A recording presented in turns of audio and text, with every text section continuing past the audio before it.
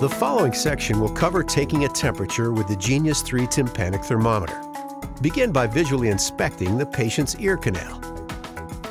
Next, inspect the probe lens to ensure the tip is clean and clear of debris. If debris is present, clean the probe tip per directions in the user manual or by accessing the cleaning video. Install a probe cover by firmly inserting the probe tip into a probe cover. Inspect the probe cover to make sure it is fully seated and no holes, tears, or wrinkles are present in the plastic film. Place the probe tip in the ear canal and lightly seal the opening with the probe tip. Ensure the probe shaft is aligned with the ear canal and keep the thermometer straight.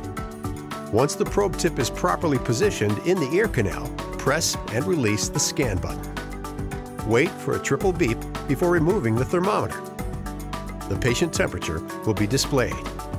Press the eject button to eject the probe cover into a suitable waste receptacle. Always return the thermometer to the base for storage and never reuse a probe cover. To recall the last temperature, press and release the scan button.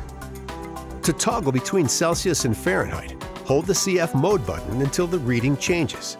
This will take approximately 3 seconds. For more information on product availability, please contact your local Cardinal Health representative.